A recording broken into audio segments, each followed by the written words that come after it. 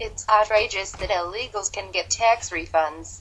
Illegal immigrants who have never paid taxes can now claim tax refunds due to President Barack Obama's executive action.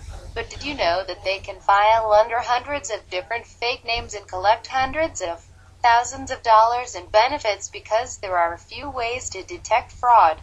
Yes, this is going to happen, plus they can register to vote in many states unchallenged.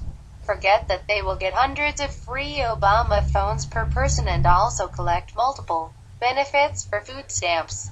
They will also qualify for health care subsidies and sex change benefits. They will get electric subsidies, heating allowances, and if they bring their children. Of course, they will get free daycare so they can recover from the long journey to get to America. You need to look at this, it's a real eye-opener. When you view ESTA you will understand why Obama refuses to say the words radical Islam. This, checked out with Google and Snopes. Did you know that we now have any available Muslim government? John Brennan, current head of CIA converted to Islam while stationed in Saudi Arabia, Obama's top advisor. Valerie Jarrett is a Muslim who was born in Iran where her parents still alive. Hillary Clinton's top advisor, Huma Abedin is a Muslim, whose mother is a member of the Muslim Sisterhood and whose brother is a member of the outlawed Muslim Brotherhood in Egypt now. Assistant Secretary for Policy Development for Homeland Security, Arif Khan, is a Muslim. Homeland Security Advisor, Mohammed Elibiary, is a Muslim. Obama advisor and founder of the Muslim Public Affairs Council, Salam al-Marayati, is a Muslim. Obama's Sharia czar, Imam Muhammad Majid, of the Islamic Society of North America is a Muslim.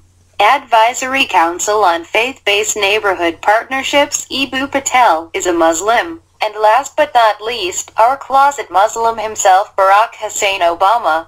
It's questionable if Obama ever officially took the oath of office when I was sworn in. I did not repeat the oath to defend our nation properly and our Constitution. Later I was the Democrats claimed given the oath again in private. CIA Director John Brennan took his oath on a copy of the Constitution, not a Bible. Congressman Keith Ellison took his oath on a copy of the Quran.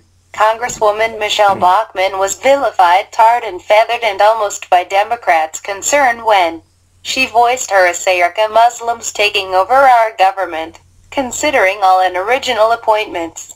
It would explain why Obama and his minions are systematically destroying our nation supporting radical Muslim groups worldwide, opening our southern border, and turning a blind eye to the genocide perpetrated on being Christians all over Africa and the Middle East.